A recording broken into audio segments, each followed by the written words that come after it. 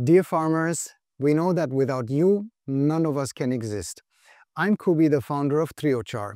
In previous videos, we explored biochar and its incredible benefits.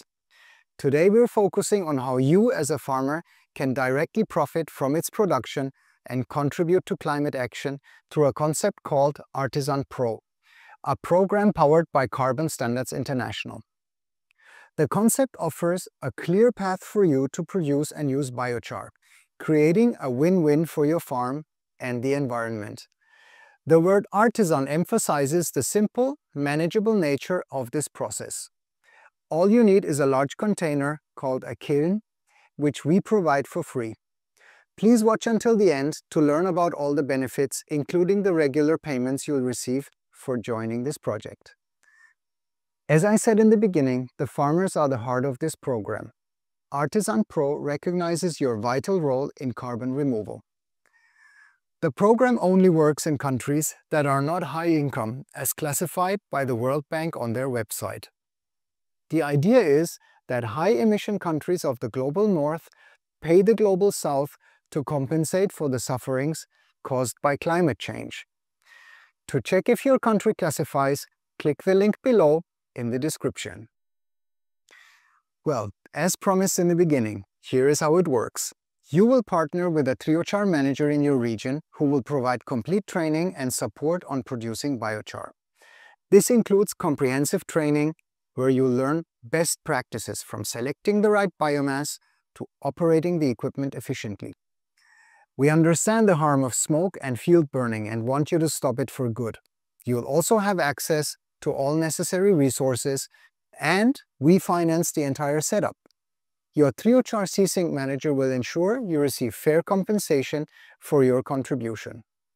And importantly, you'll receive the biochar for free to improve your soil and increase your income.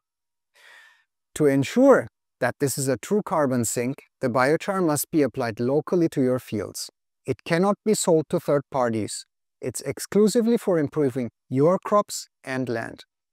Before application, the biochar needs to be inoculated. It means it must be mixed with plant-loving nutrients like chicken manure or compost. Only then you can apply it to the soil. This program creates a new income stream for you while recognizing your vital role in decarbonizing the atmosphere. Now, let's cover some important rules within the Artisan Pro program. There is the farm location. Your farm location is fixed once we agree. This is because we collect waste within a 30 kilometer radius to minimize fuel use and additional emissions. The biomass selection you can use various agricultural residues, but the humidity must be below 25% and measured with a hygrometer each time, which we also provide for free. Woody materials generally produce better biochar. Ideal materials include stalks, nutshells, corn cobs, rice husks, coffee waste and cotton stalks as examples. Fruit skins and seeds are less suitable due to their humidity, chemical composition, can have potential pesticides, potassium is a problem, and the seasonal availability is not always given. Storing waste can also create greenhouse gases. Ideal crop waste is abundant, dry, available year-round and easily collected. For example, wood from storms or invasive species are excellent choices. Always discuss your biomass choices with your Triochar C-Sink manager. Let's walk through the biochar production process. First, you'll gather and prepare your materials. This means collecting dry crop waste. It needs to be under 25% humidity. And chopping or shredding it into smaller pieces. Next, you'll prepare the kiln. Clear it out and add some kindling to the bottom. Now start the fire. Light the kindling and gradually add the crop waste. It's important to monitor the burn. You want a hot fire not a raging one. Good smoke is key. That means the volatile gases are burning off. Control the fire by adjusting airflow, adding soil or sand if needed. Once the material is dark and crumbly, it's time to quench the fire. Use water to put it out completely and then let the biochar cool. Finally, store the cooled biochar in a dry place. Now, let's talk about transparency and DMRV. DMRV stands for Digital Monitoring, Reporting and Verification. This is how we ensure everything is accurate and traceable. Sounds complex, but it's very simple. Monitoring means you are registered on a phone app and take daily photos of three things. The biomass type, the amount of biochar, and the biochar field application. The app automatically captures the date and location. Your Triochar manager will provide training and support on how to use the app. Reporting is easy because the app takes care of it. We do nothing here. For verification, a third party, a certifier, checks the data. Your Triochar manager handles this part completely. Why is DMRV so important? Well, it ensures accurate payment, so you get fair compensation based on the biochar volume you produce. It also builds credibility and trust in the program. And finally, it confirms CSink completion. The process is considered complete once the biochar is applied to the soil. And this is also documented in the app. Now, a few additional guidelines. There must be no double counting. You cannot participate in other carbon offset programs for the same land. Maximum production per location is 1,500 cubic meters of biochar per year.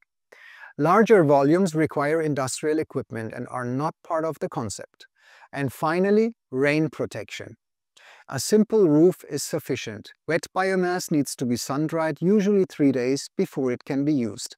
Now, We've received some common questions from farmers around the world and I'll answer three of the most frequent ones. For example, farmers often ask, how much crop waste is needed? The answer is it varies depending on the crop waste type and humidity. More dry materials burn more efficiently. Cotton stalks, for example, will have different results than corn cobs. Check the bulk density for more information. You can use AI or Google to help you estimate this. Just type in bulk density. Another common question is, how much land is needed? Again, it depends on the crop waste and its availability. If your land is small, we can combine waste from neighboring farms. Talk to your CSink manager about this. One last question is, how many kilns and how long does it take? Each location gets 4 to 6 kilns each with a volume of 1.7 cubic meters. The process takes 3 to 4 hours per batch and you need at least one or two operators. Artisan Pro offers a fantastic opportunity to make a real difference while building a sustainable income for yourself. You become a key player in fighting climate change. This is the best opportunity by far for improving lives and we believe in you. Check out the links below for the Global Artisan Standard Guide and further important information. Let us know what you think in the comments. We're excited to hear from you.